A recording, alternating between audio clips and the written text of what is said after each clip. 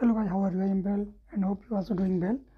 तो once again we are here with the new feature of galaxy a70s तो एक बात तो बताना चाहूँगा दोस्तों मैं आपको कि ये मोबाइल है, किसी कंपनी की तरफ़ से मैं नहीं कर रहा हूँ, ये मेरा पर्सनल मोबाइल है और मैं उस मोबाइल से आपको जो उसकी खूबियाँ हैं वो बता रहा हूँ।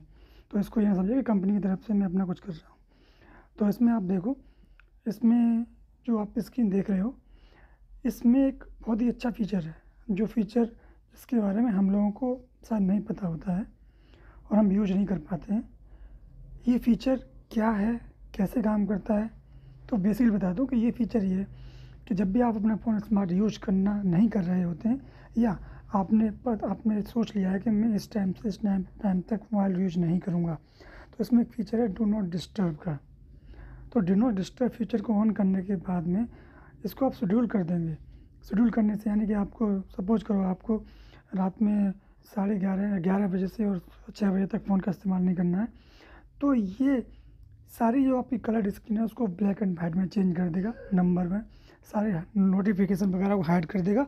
हाँ आप चाहते हो तो नोटिफिकेशन को शो करेगा अदरवाइज़ उनको भी हाइड कर देगा। तो इससे क्या है, हमें अपना अंदाज़ा रहेगा कि मुझे कब यूज़ करना है, कब यूज़ नहीं करना है स्मार्टफ़ोन।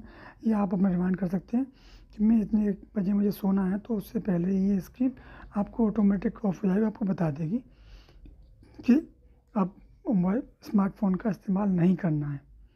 तो अब देखो, अब स्क्रीन पर देख रहे हो, जब ये ऑन हो जाएगा तो आपकी स्क्रीन इस तरह से दिखाई देगी, यानी कि सब कुछ ब्लैक एंड वाइट हो जाएगा।